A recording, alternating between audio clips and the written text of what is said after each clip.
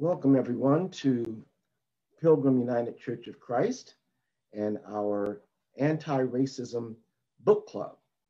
Uh, this is our third session on James Baldwin. We're reading part two of Notes of a Native Son. I'm going to make a few opening remarks, after which our book club will go into their breakout rooms and we will end the live stream at that point. If you would like to join our book club, you can go to our Facebook events page and there you can find out about how you can get, uh, how you can join our uh, book club.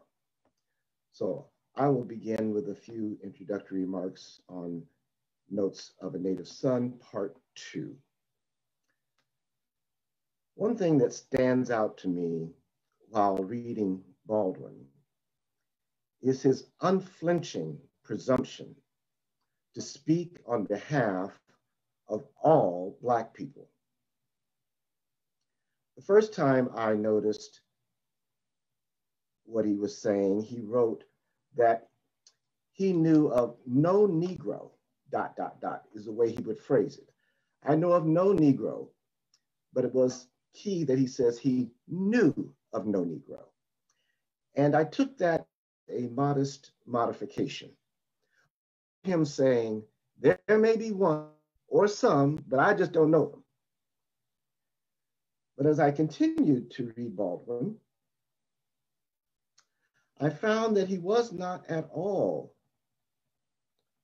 making those modifications as he went on. He would repeatedly, boldly claim to speak for all Black people, all Native sons and daughters born Black in the United States of America.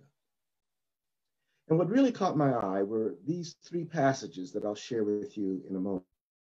And they each speak about the Black child growing up in America and the challenge of raising a Black child in the United States.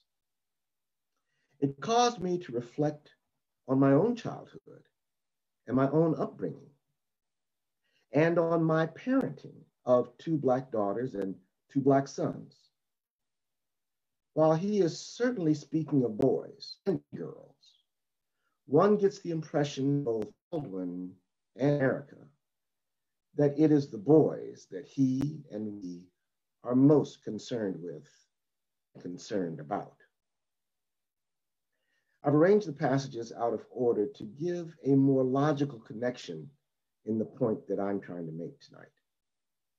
Starting with his notes on his father's funeral and his observation about all the parents in attendance at the funeral, all presumably Black, and speaking to presumably all Black parents. Then I read a, then I'll read a passage where he speaks of the inevitable condition of the Black child by the time they reach their teen years. And finally, a passage that addresses the emotional and mental condition of every Black adult native to America. So I'm going to share my screen so you can read along with me.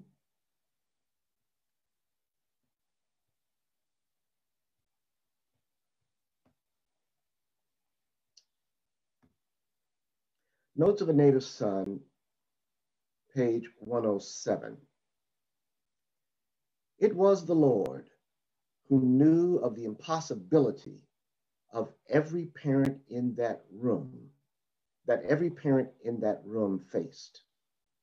How to prepare the child for the day when the child would be despised. That's my emphasis added the impossibility every parent in that room faced, how to prepare the child for the day when the child would be despised, and how to date in the child by what means. A stronger antidote to this poison than one had found for oneself. The avenues, side streets, bars, billiard halls, hospitals, police stations, and even the playgrounds of Harlem. Not to mention the houses of correction, the jails, and the morgue, testified to the potency of the poison while remaining silent as to the efficacy of whatever antidote, irresistibly raising the question of whether or not such an antidote existed. Raising, which was worse, the question of whether or not an antidote was desirable. Perhaps poison should be fought with poison. Then from the Harlem Ghetto, page 72. I can conceive of no Negro native to this country who has not, by the age of puberty, been irreparably scarred by the conditions of his life. All over Harlem, Negro boys and girls are growing into stunted maturity, trying desperately to find a place to stand. And the wonder is not that so many are ruined, but that so many survive. The Negro's outlets are desperately constricted. In his dilemma, he turns first upon himself and then upon whatever most represents to him his own emasculation.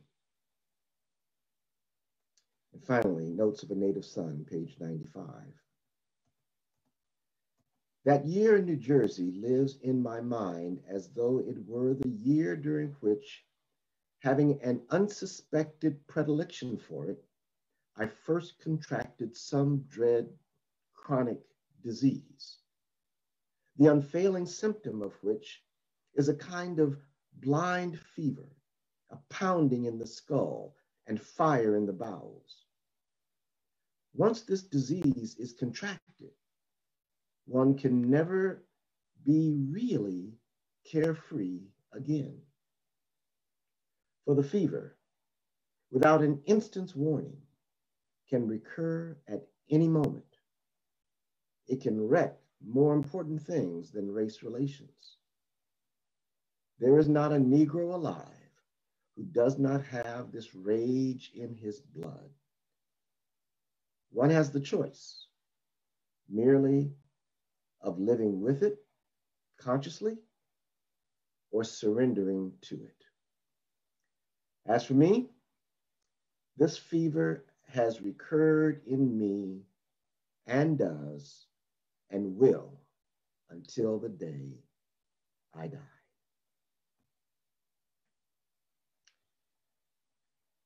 A lot of thoughts come to me from these passages. I look at my own life. I ask myself, was I irreparably scarred by the time I had reached puberty? And I thought about it. I looked at what happened in my life before I was 13 that scarred me. And there was certainly one incident that I'll never forget. I was five, maybe six years old when I witnessed a white gas station manager pull a gun on my mother and my three year old sister because they wanted to use the bathroom. In fact, my mother said to the station manager, she wasn't going to use the bathroom, it was just for her little girl. Now, this would have been a perfectly normal event in Los Angeles, California, where we lived. But in 1961, we were visiting our grandparents in rural Tennessee. In the South, there was strict segregation, even of bathrooms. We've heard of the doctrine of separate but equal. But what is often failed to be mentioned is that when there were not separate facilities, there was no equality. And in this rural gas station, there was only one bathroom, and it was white. So the station manager pulled the gun and insisted to my mother, I told you before, she cannot use the white bathroom. You can take her out there behind that truck. And my father, emasculated, unable to help his wife and his three year old daughter. That was before I was 13. Then I asked myself the next question that Baldwin raises What antidote did my parents give me to inoculate me against a world that would despise me? The one thing I remember, and I don't know if this was the strategy, if this that what is what they considered their antidote, but my mother would always kind of pull me aside. Now, I had three other siblings, and, and maybe she pulled them aside too, but she would pull me aside by myself and she would whisper in my ear, You're my pride and joy. Now, as a young man, that was embarrassing. It was like your mother kissing you, and you're like, oh, stop, stop. But maybe what she was doing was building a self confidence, a self esteem in me that she knew I would need to face a world that would despise me because of my color. The other thing that my parents did, and this probably was a bit more deliberate, the first chance that we got, my parents moved us out of Watts and to West LA. And that also was when I was six years old.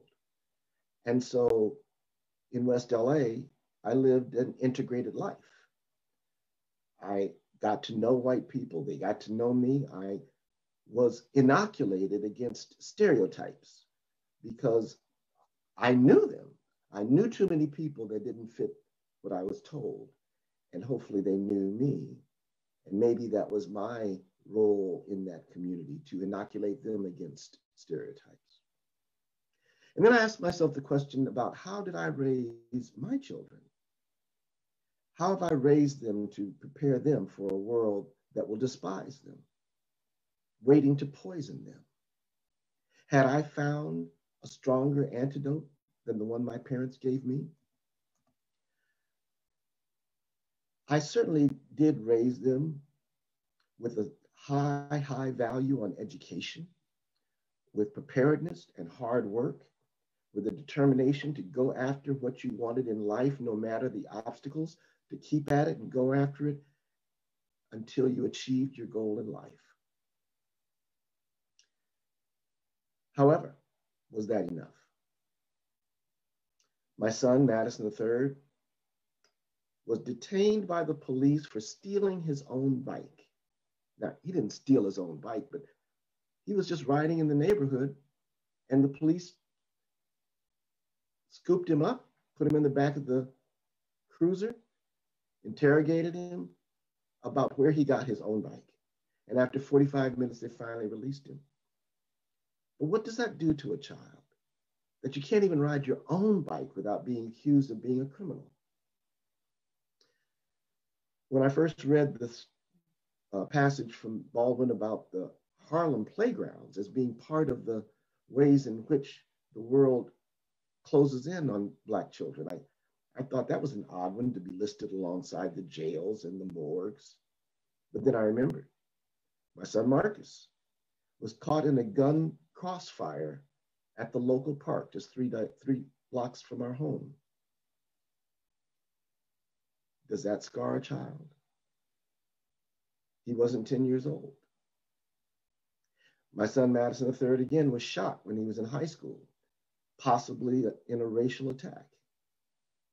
All four children of mine saw Rodney King beaten by the police.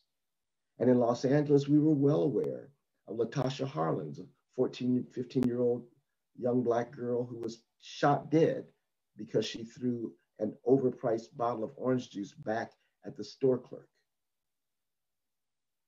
So I asked myself Baldwin's questions Do my children have this rage in their blood? Do they live with it? Or have they surrendered to it, been consumed by it? How often does this fever recur in them? In me, in every Black person alive, in every Native son and daughter. I'll end my remarks there and I'll end our live stream to Facebook